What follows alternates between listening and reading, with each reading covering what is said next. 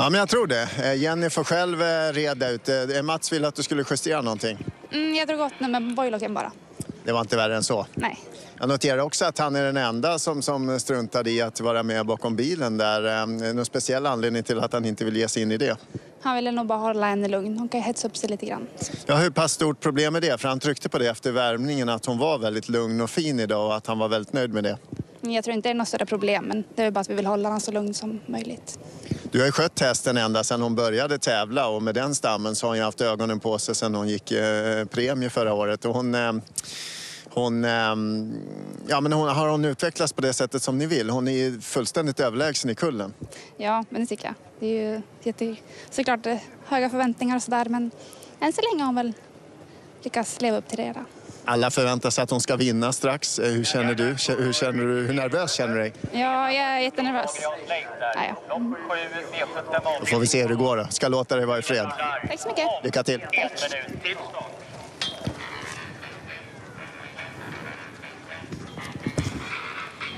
Kriteriestoet med Lannem Stella. Alldeles strax mindre än minuten till start. Eh, och en halv miljon till vinnaren i V75 2.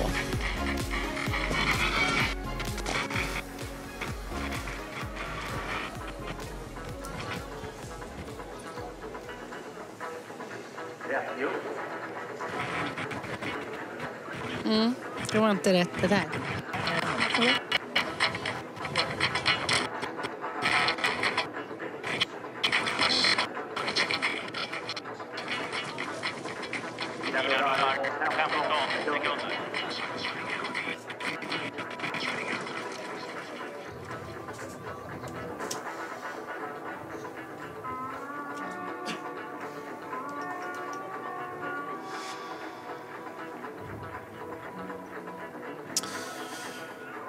De treåriga stona, svenska och norska kallblodiga stona, samlar upp sig bakom eh, startbilens vingar.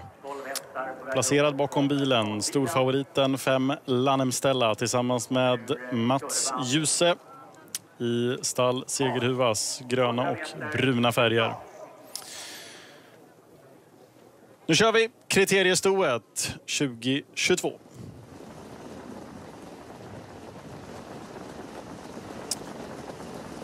Startbilen släpper iväg fältet. Lannemstella kvick ut den första biten. Dessvärre galopp för nummer två, Lia Lycke.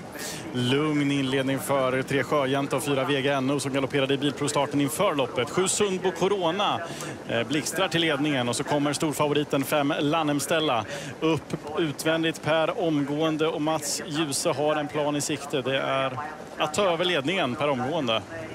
Ja, det var ju väl inget konstigt med det. Han tog det lite extra försiktigt. Man såg att de var lite ivrig från start så att eh, Mats ville inte krångla till det och riskera någon galopp utan han släppte förbi eh, Robert Skoglund välvilligt för att sen kunna överta.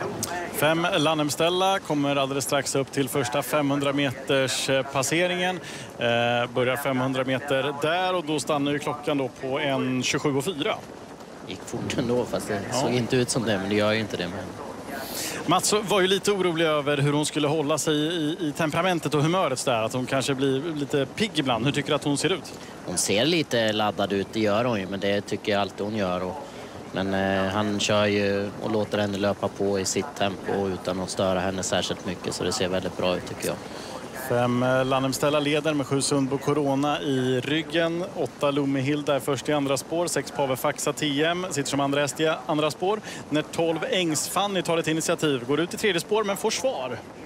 Ja, kommer Haverfaxa här. Eh, via tredje spår samtidigt som Lannemställa börjar varvet på 1.29,3. Med eh, fem Lannemställa alltså i ledningen. Åtta Lomehilda finns som tvåa. Nu eh, skreks det lite här från kuskarna när de passerade oss. Eh, det, det var väl Jan-Ove Olsen som uppmärksammade sex på Faxa TM då. Thomas Mjön då, som är ute i tredje spår, som var på väg ner i andra spåren en stund där. Eh, men nu drar ledaren på där framme. Får några meter till de övriga. Ja, eh, Mats låter henne löpa på. Han bryr sig inte så mycket i de andra utan han kör sitt eget race där framme i ledningen. 12 Ängsfanny alltså som andra häst i andra spår. Tredje invändigt för nummer ett Spikborka. Men det är fem Lannem Stella som har en eh, stor lucka nu ner till sina konkurrenter. Mats har skruvat upp farten, eller Lannem Stella har gjort det eh, själv och fått en lucka på 15 meter ner till sina konkurrenter. Eh, fem Lannem Stella in i slutsvängen som ledare i en överlägsen ledning. De försöker nerifrån kön. Det är 12 Ängsfanny som tar upp jakten och går bra i nuläget för Jan-Ove Olsen. Ja, verkligen. Hon går ju riktigt bra, Jan-Oves häst. Jag tror det blir svårt att komma ikapp ledaren, men eh, klart plus på 12 Lannemställa nummer fem. Eh, efter Lannem Silje som ju vann svenskt eh, kallblodskriterium. Hon gick ut mot killarna. Fem Lannemställa är ute i kriteriestoet och är ju smått överlägsen sina konkurrenter. Än så länge i alla fall. När de är inne på upploppet så är det fem Lannemställa och eh, Mats Djuse har full koll på det hela. Ja, vad månne, denna, vad månne detta bliva. Denna härliga treåriga talang. Fem Lannemställa. Hon utklassar sina kullkamrater när hon vinner kriteriestoet. Fem är Jenny Stort grattis! Jenny har ett jobb att sköta. Stjärnblomster ska ju selas ut också. Ja, precis. Stort grattis, Janne. Ja, tack så mycket. Vad känner du inför det här? Det var knappt så du tittade på första varvet. Då gick du och lommade runt i en lastbil. Var det inte spännande? Jo, det var spännande för första 200. För hon kan vara lite rullig strax efter när bilen släpper. Och så, där. så därför jag valde spåret långt ut i banan också. Så att, men, ja, men Mats är duktig. Han lös, löste det på bra sätt. Berätta lite om henne och hennes teknik och så vidare. Hade du kunnat drömma om för 20 år sedan att ett treårigt sto skulle röra sig på det här sättet och de här farterna? Nej, det tror jag. Men det är ju de som har sprungit. Mamma henne sprang väl fortare som treåring men hon har ju inte behövt springa fortare eh, ännu. Så att, eh, men eh, det är ju jätteroligt med de föräldrarna som hon har, att det, att det är en bra individ också. Ja, hur känns det att ha en häst som är så pass överlägsen i kullen? Det handlar mer om att inte göra fel. Ja, det känns bra. och så har de höjt prissumman i år också för storna. Jan-Ove, måste gratta Jan-Ove.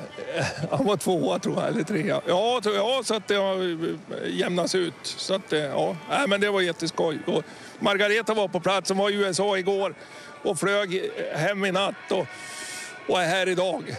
Ja, det är klart de ska vara här när det... Ja. Stort grattis Jan. Tack så mycket. Ja, vad otroligt fin hon är, Lannem Stella. Ja, fantastiskt eh, fin häst att titta på. Vacker, rör sig som en ja, som en dröm helt enkelt. Det måste vara underbart att sitta bakom henne också och hur överlägsen var hon inte. Hon bara liksom lämnade sina konkurrenter. Ja, det var häftigt att se henne. Jag njöt. Mm. Margareta Wallenius Kleberg, Stalls segerhuva, äger ju Lannemställa som Jan-Olof Persson sa.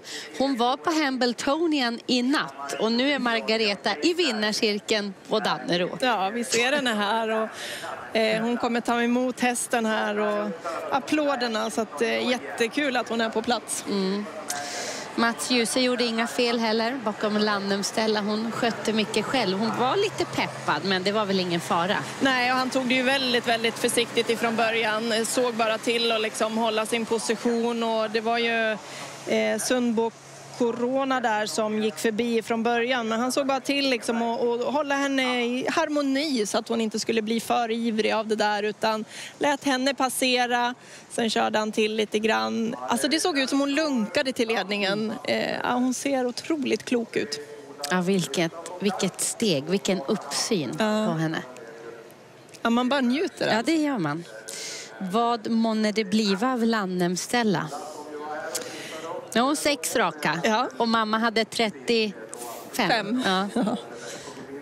Ja, hon kommer ju fortsätta den här och rada upp segrar. Det kan jag inte tänka mig något annat än att hon kommer att göra. Och så gäller det bara att hon håller sig frisk och kry och, och kurant och att allt funkar som, som man vill då. Eh, men hon är i goda händer hos Jan-Olof Persson. Hon segrade i kriteriestoet tillsammans med Mats E. Djuse som har kört Lannemställa i alla starter och lika många segrar.